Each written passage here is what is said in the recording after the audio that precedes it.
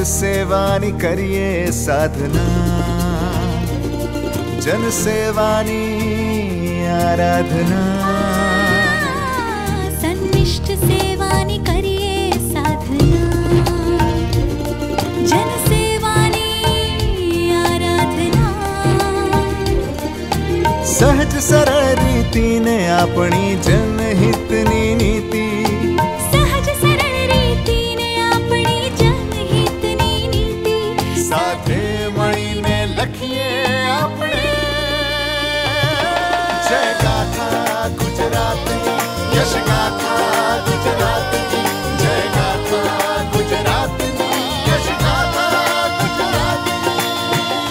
નમસ્કાર દર્શક મિત્રો. ગુજરાતની અસ્મિતાને વિશ્વ ફલક પર વધુ પ્રબળ કરવા મુખ્યમંત્રી શ્રી ભૂપેન્દ્રભાઈ પટેલની રાજ્ય સરકાર રાજ્યના સર્વાંગી વિકાસ માટે મક્કમ ધ્યેય સાથે આગળ વધી રહી છે. આપણું ગુજરાત દેશ વિદેશમાં વધુને વધુ નામના મેળવતું રહે તેવી અભિલાષા સાથે શરૂ કરીએ આપણો લોકપ્રિય કાર્યક્રમ યશ ગાથા ગુજરાતની. સેવા, સુશાસન અને ગરીબ કલ્યાણની ભાવના સાથે કેન્દ્ર અને રાજ્યની ડબલ એન્જિન સરકાર રાજ્યની જનસુખાકારીમાં સતત વધારો કરી રહી છે.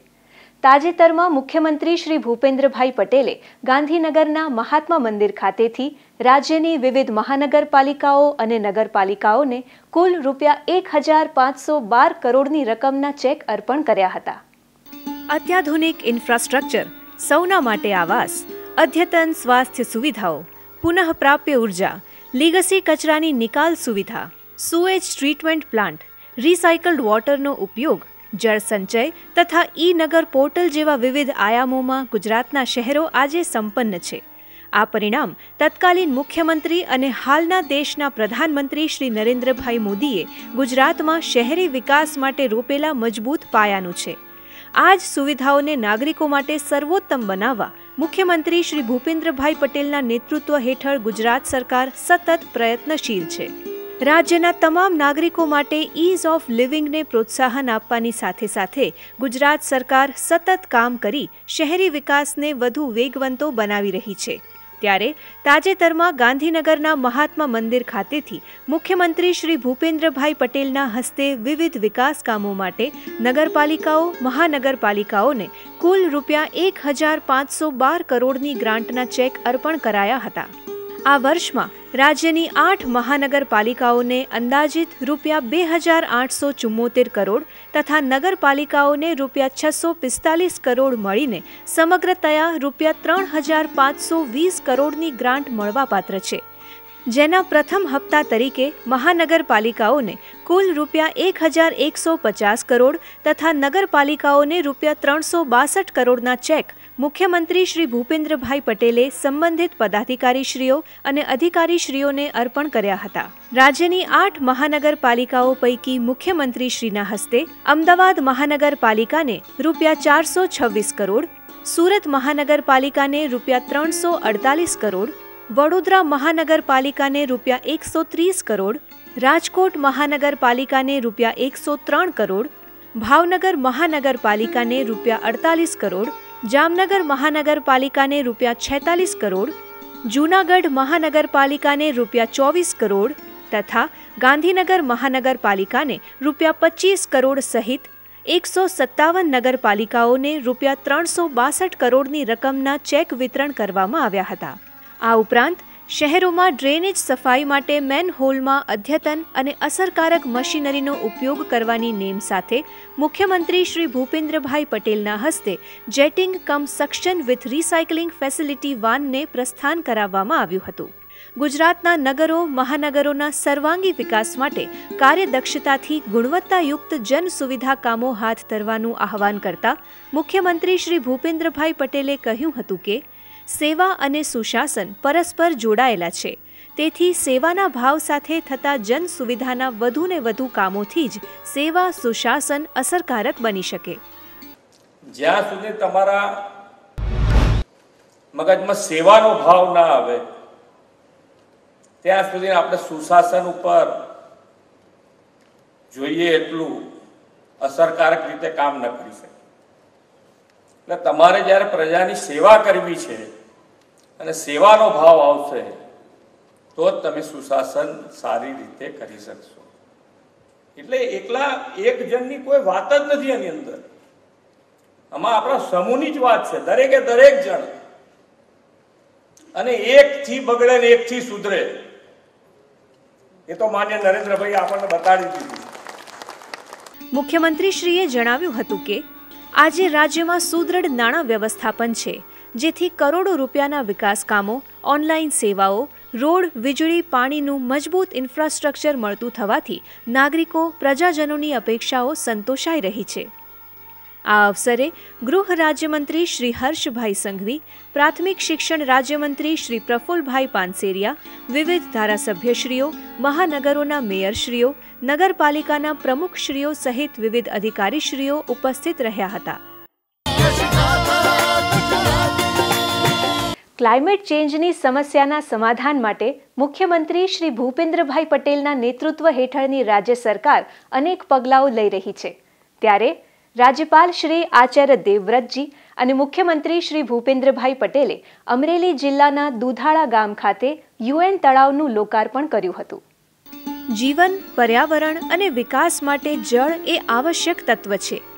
ગુજરાતમાં ઉપલબ્ધ પાણીના સ્ત્રોતોનો કાર્યક્ષમ ઉપયોગ કરવો અને સંગ્રહ કરવો અને તે પાણીને ડેમથી ખેતરો તથા ઘરો સુધી પહોંચાડવાનું સુદૃઢ માળખું કાર્યરત છે.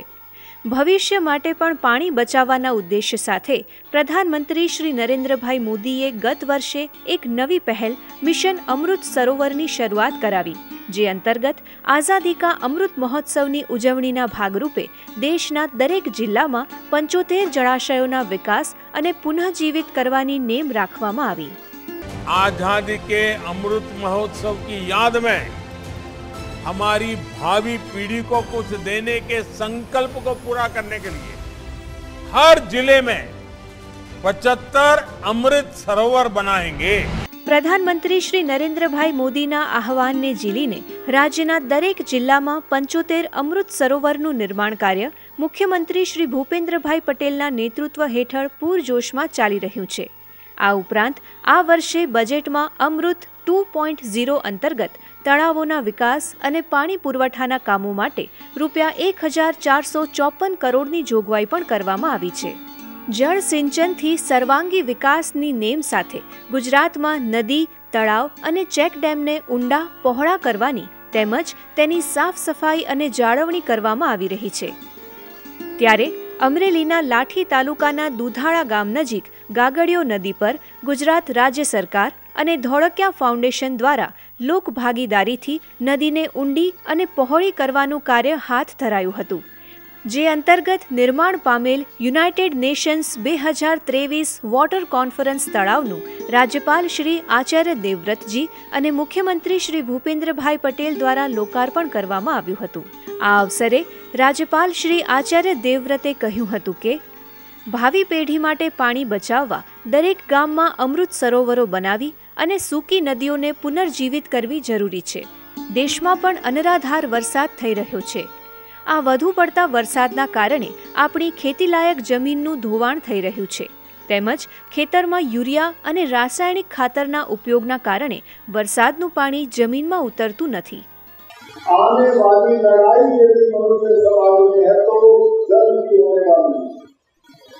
पानी का गंभीर संकट दुनिया में आने वाला है जहाँ ठंड पड़ती थी वहाँ लूएं चल रही जहाँ गर्मी पड़ती थी वहाँ बर्फ पड़ रही कहीं पर वर्षा इतनी है कि वो फसल का विनाश कर रही है और बाढ़ ला करके लोगों को बर्बाद कर रही है इसके पीछे बहुत बड़ा कारण ग्लोबल वार्मिंग પ્રકૃતિનું જતન કરવું એ આજના સમયનો સૌથી મોટો પડકાર છે તેમ જણાવતા રાજ્યપાલશ્રીએ કહ્યું હતું કે પ્રાકૃતિક ખેતીમાં વપરાતા જીવામૃત અને ઘન જીવામૃતના કારણે જમીનમાં અળસિયાઓની સંખ્યા વધે છે.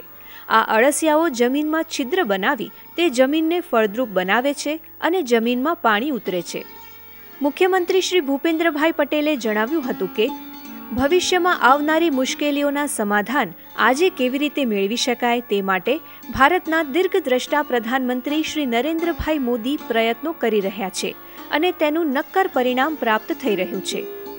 કુદરત દત્ત સ્ત્રોત દ્વારા વધુને વધુ જનકલ્યાણ થઈ શકે તે માટે રાજ્ય સરકાર અને વિવિધ સંસ્થાઓના સહયોગથી જળ સંચયના અને ગ્રીન એનર્જીને લગતા કામો થયા છે. પાણી છે, રોડ જ્યાં તમારે જે ગામમાં જે વ્યવસ્થા ઊભી કરી હોય, ધંધા રોજગાર કરવા હશે, તોય પાણી અને લાઈટ જોઈશે, રોડ જોઈશે, તો તમે ધંધો રોજગાર કરી સ્વાસ્થ્યની સુવિધા જોઈતી હશે, તો પણ આ બધાની જરૂર છે. એટલે જે જે જરૂરિયાત છે, એના માટે મુખ્ય જે જરૂરિયાતો છે, એ બધી પૂરી કરવા માટે સરકારે માટે નરેન્દ્રભાઈના નેતૃત્વમાં ખૂબ સારા કામો થયા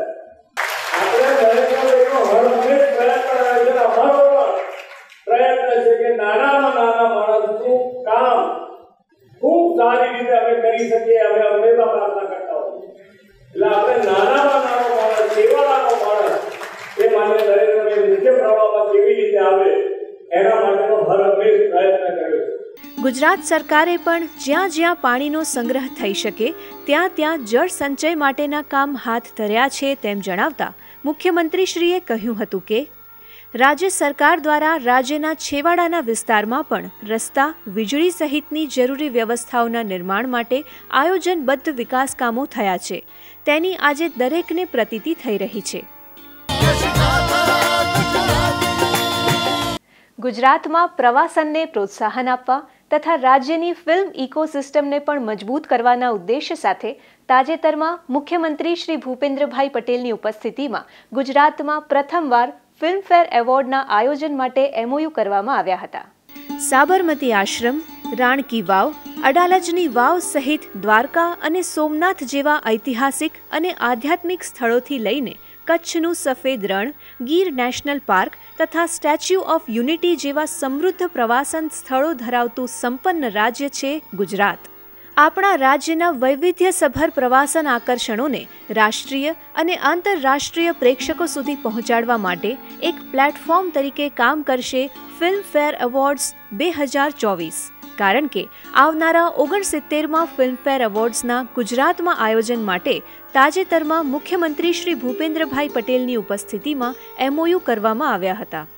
રાજ્ય સરકારના સાહસ, Tourism Corporation of Gujarat Limited અને World Wild Media Private Limited વચ્ચે થયેલા એમઓયુના પગલે ગુજરાતમાં પ્રથમવાર ફિલ્મફેર એવોર્ડ્સનું આયોજન કરવામાં આવશે, જેના પરિણામે ગુજરાત દેશમાં ફિલ્મ ડેસ્ટિનેશન સ્ટેટ તરીકે પ્રમોટ થશે. મુખ્યમંત્રી શ્રી ભૂપેન્દ્રભાઈ પટેલના દિશા દર્શનમાં રાજ્ય સરકારે વર્ષ બે હજાર બાવીસમાં જાહેર કરેલી સિનેમેટિક ટુરિઝમ પોલિસીને પગલે ગુજરાતમાં ફિલ્મ ઉદ્યોગો આકર્ષિત થયા છે. જેમાં ફિલ્મફેર એવોર્ડ બે હજાર ચોવીસનું આયોજન વધુ એક સીમાચિહ્ન બનશે. આ અવસરે મુખ્યમંત્રી શ્રી ભૂપેન્દ્રભાઈ પટેલે જણાવ્યું હતું કે ફિલ્મફેર એવોર્ડ્સ એ ભારતીય સિનેમાના સૌથી પ્રતિષ્ઠિત એવોર્ડ્સમાંના એક છે. આવા પ્રતિષ્ઠિત એવોર્ડ સમારોહનું આયોજન રાજ્યમાં થવાથી મુલાકાતીઓનો પ્રવાહ, પ્રવાસન, હોટેલ બુકિંગ અને અન્ય પ્રવૃત્તિઓને વેગ આપશે અને લોકલ ઇકોનોમીને બૂસ્ટ મળશે તથા એમ્પ્લોયમેન્ટ જનરેશન પણ થઈ શકશે. વિશ્વ નેતા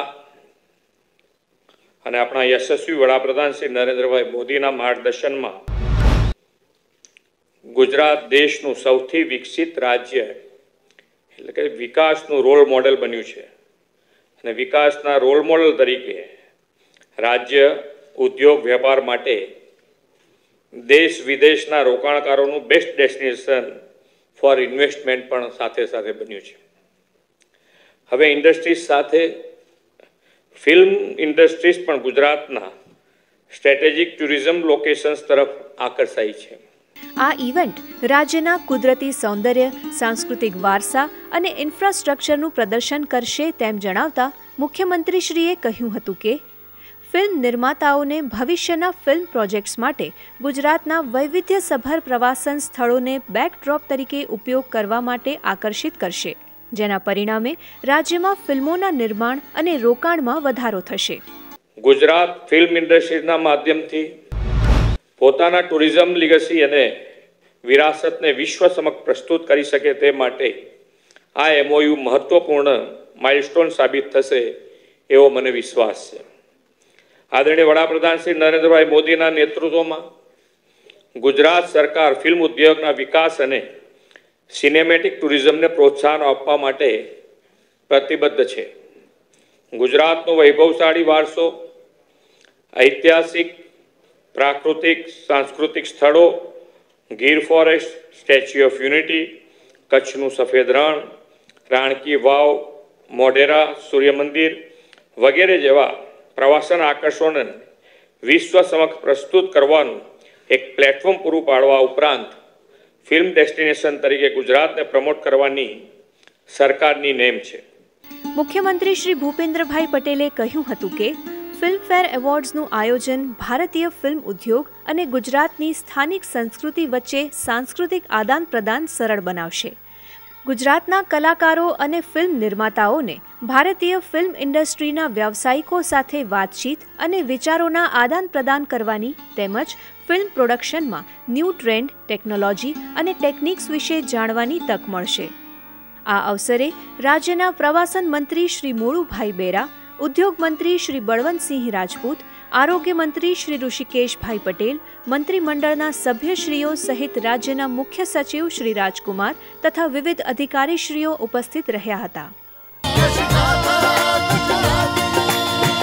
કેન્દ્રની દરેક લોકહિતકારી નીતિઓના લાભ રાજ્યના દરેક નાગરિકને સુપેરે મળતા રહે, તે મુખ્યમંત્રી શ્રી ભૂપેન્દ્રભાઈ પટેલની ટીમ ગુજરાતનો મક્કમ નિર્ધાર છે.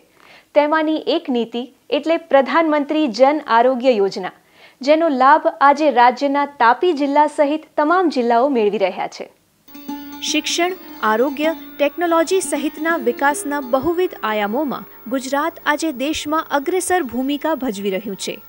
કેન્દ્ર અને રાજ્યની ડબલ એન્જિન સરકારના નેતૃત્વમાં આજે ગુજરાતના નાગરિકોને કેન્દ્ર અને રાજ્યની વિવિધ નીતિઓના લાભ સુપેરે પહોંચી રહ્યા છે. વિવિધ યોજનાઓ થકી ગુજરાતના ગામોથી લઈને શહેરો સુધીના સર્વે નાગરિકો તેમની જીવનશૈલીમાં સકારાત્મક સુધારો અનુભવી રહ્યા છે. દેશના નાગરિકોનું આરોગ્ય એ દેશના વિકાસનો મુખ્ય પાયો છે. ગંભીર બીમારીઓની સુલભ સારવાર, ખર્ચાળ હોવાના કારણે ગરીબ અને મધ્યમ વર્ગીય પરિવારો તેનાથી વંચિત રહેતા.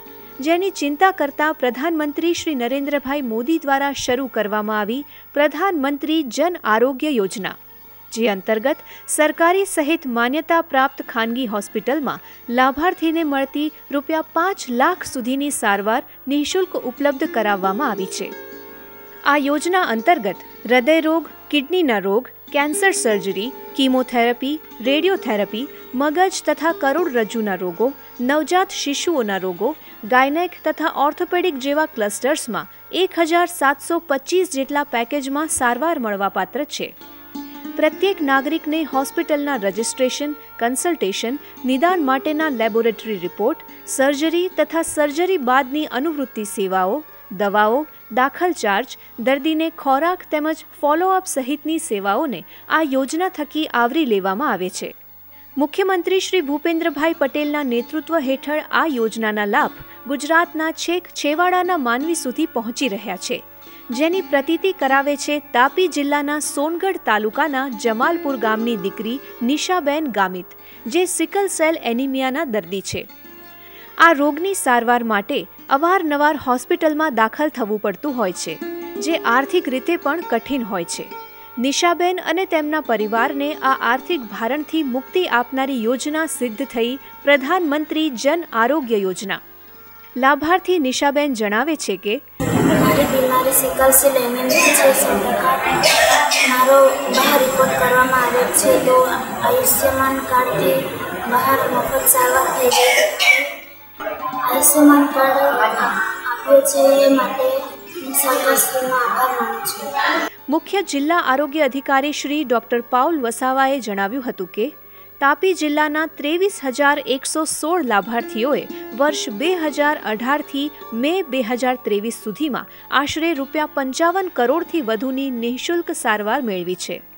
આવનાર દિવસોમાં પણ અમારો મુખ્ય લક્ષ્યાંક એ જ હશે કે દરેક દરેક વ્યક્તિને આ પોતાનું પ્રધાનમંત્રી જન આરોગ્ય યોજના કાર્ડ અમે ઉપલબ્ધ કરવા માટેનો આગામી દિવસમાં પણ અમે આયોજન કરી રહ્યા છે. અને આવનાર દિવસોમાં પણ આમ જાહેર જનતાને અમારી એ જ વિનંતી હશે કે આપણે જે કંઈ આ કાર્ડ કરવાનો બાકી હોય તો અમારા નજીકના પ્રાથમિક આરોગ્ય કેન્દ્ર અને અમારી સ્થાનિક આશાબહેનોનો સંપર્ક કરી આરોગ્ય કર્મચારીનો સહકાર લઈ અને આ કાર તમે પોતાની કુટુંબ દીઠ વ્યક્તિગત હાથ ઊભો કરી લો એવી આપ સૌને અમારા તરફથી હાર્દિક અપીલ પણ કરવામાં આવે છે. દર્શક મિત્રો, ગત સપ્તાહે ગુજરાત રાજ્યમાં થયેલ વિકાસ કાર્યો અને પ્રવૃત્તિઓને નિહાળીએ સમાચાર સારાંશમાં. સેમિકન્ડક્ટર આધુનિક ઉદ્યોગ જગતની પાયાની જરૂરિયાત છે. ઇલેક્ટ્રોનિક્સ ટેલિકમ્યુનિકેશન ઓટોમોટિવ તથા હેલ્થકેર સહિતના વિવિધ ઉદ્યોગોમાં સેમિકન્ડક્ટરની ભૂમિકા મહત્વપૂર્ણ છે. ત્યારે તાજેતરમાં ગાંધીનગર ખાતે સેમિકોન ઇન્ડિયા બે હજાર ત્રેવીસ અંતર્ગત આયોજિત પ્રદર્શનનો મુખ્યમંત્રી શ્રી ભૂપેન્દ્રભાઈ પટેલે શુભારંભ કરાવ્યો હતો. જ્યાં કેન્દ્રીય ઇલેક્ટ્રોનિક્સ અને આઈટી રાજ્યમંત્રી શ્રી રાજીવ ચંદ્રશેખર પણ ઉપસ્થિત રહ્યા હતા. મુખ્યમંત્રી શ્રી ભૂપેન્દ્રભાઈ પટેલે જણાવ્યું હતું કે, દેશમાં સૌપ્રથમ સેમિકન્ડક્ટર પોલિસી જાહેર કરીને ગુજરાત સેમિકન્ડક્ટર ક્ષેત્રને પૂરતું પ્રોત્સાહન આપી રહ્યું છે. આજે સેમિકન્ડક્ટર ક્ષેત્રે ગુજરાત દેશમાં અગ્રીમ ભૂમિકા ભજવી રહ્યું છે. દેશ વિદેશની સેમિકન્ડક્ટર ચિપ કંપનીઓ દ્વારા ગુજરાતમાં સેમિકન્ડક્ટરના સેક્ટરમાં રોકાણથી રાજ્યમાં રોજગારીના નવા દ્વાર ખુલી રહ્યા છે. કેન્દ્રીય રાજ્યમંત્રી શ્રી રાજીવ ચંદ્રશેખરે કહ્યું હતું કે, પ્રધાનમંત્રી શ્રી નરેન્દ્રભાઈ મોદીએ વર્ષ બે હજાર એકવીસમાં સેમિકન્ડક્ટર ક્ષેત્રે ભારતને આત્મનિર્ભર બનાવવા જે સપનું સેવ્યું હતું, તેને સાકાર કરવા છેલ્લા એક વર્ષમાં ભારતે સેમિકન્ડક્ટર ક્ષેત્રે હરણફાળ ભરી છે. જેમાં ગુજરાત સરકારનો ફાળો પણ મહત્વપૂર્ણ રહ્યો છે. ગુજરાત આજે સેમિકન્ડક્ટર ક્ષેત્રે દેશનું એપી સેન્ટર બન્યું છે. આ અવસરે મુખ્ય સચિવ શ્રી રાજકુમાર, કેન્દ્રીય ઇલેક્ટ્રોનિક્સ અને આઈટી વિભાગના સચિવ શ્રી અલ્કેશ કુમાર શર્મા, ગુજરાતના સાયન્સ અને ટેકનોલોજી વિભાગના સચિવ શ્રી વિજય નેહરા સહિત વિવિધ અધિકારીશ્રીઓ ઉપસ્થિત રહ્યા હતા. મુખ્યમંત્રી શ્રી ભૂપેન્દ્રભાઈ પટેલના નેતૃત્વમાં ગુજરાતમાં ઔદ્યોગિક ક્ષેત્ર એગ્રીકલ્ચર, સર્વિસ સેક્ટર અને નવા યુગને અનુરૂપ બાયોટેકનોલોજી સેક્ટરમાં વિકાસનો વ્યાપ વિસ્તરી રહ્યો છે, જેથી ગુજરાતની પોલિસી ડ્રીવન સ્ટેટ તરીકેની છબી વધુ મજબૂત થઈ છે. મુખ્યમંત્રી શ્રી ભૂપેન્દ્રભાઈ પટેલના નેજા હેઠળની રાજ્ય સરકારે ગત વર્ષે બાયોટેકનોલોજી પોલિસી બે હજાર બાવીસ સત્યાવીસની જાહેરાત કરી હતી, જે અંતર્ગત રાજ્ય સરકાર દ્વારા પચીસ ટકા કેપેક્સ સપોર્ટ પાંચ વર્ષ માટે પંદર ટકા ઓપેક્સ સપોર્ટ, બેંક લોન પર સાત ટકા વ્યાજ સબસિડી અને રોજગાર સપોર્ટ જેવા પ્રોત્સાહનો આપવામાં આવે છે. આ પોલિસીની ફળશ્રુતિ રૂપે રાજ્યમાં બાયોટેકનોલોજી સેક્ટરમાં નવા રોકાણો માટે તાજેતરમાં બે હજાર કરોડ રૂપિયાના એમઓયુ મુખ્યમંત્રી શ્રી ભૂપેન્દ્રભાઈ પટેલની ઉપસ્થિતિમાં કરવામાં આવ્યા હતા. ગુજરાતની તેર, મહારાષ્ટ્રની એક અને દિલ્હીની એક એમ કુલ પંદર કંપનીઓ સાથેના આ એમઓયુથી ભવિષ્યમાં બાયોટેક ઉદ્યોગોમાં અંદાજે ત્રણ હજાર જેટલી રોજગારીનું સર્જન થશે. આ અવસરે મુખ્યમંત્રીશ્રીના મુખ્ય અગ્રસચિવ શ્રી કે કૈલાસનાથન, અધિક મુખ્ય સચિવ શ્રી પંકજ જોશી, ઉદ્યોગ વિભાગના અધિક મુખ્ય સચિવ શ્રી એસ જે હૈદર, સાયન્સ અને ટેકનોલોજી વિભાગના સચિવ શ્રી વિજય નેહરા સહિત વિવિધ અધિકારીશ્રીઓ ઉપસ્થિત રહ્યા હતા. દર્શક મિત્રો યશ ગાથા ગુજરાતની કાર્યક્રમ અહીં સમાપ્ત થાય છે. ફરી મળીશું વિકાસની આવી જ અનેક વાતો લઈને. ત્યાં સુધી રજા આપશો. નમસ્કાર.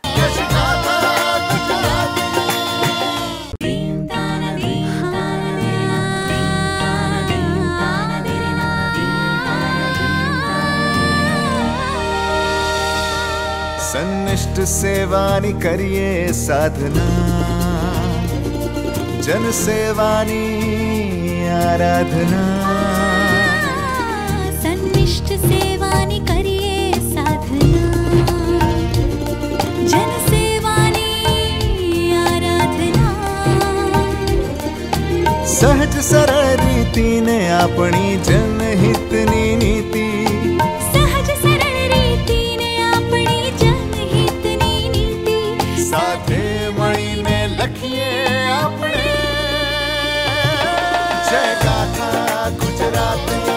દેશ ગાથા ગુજરાતની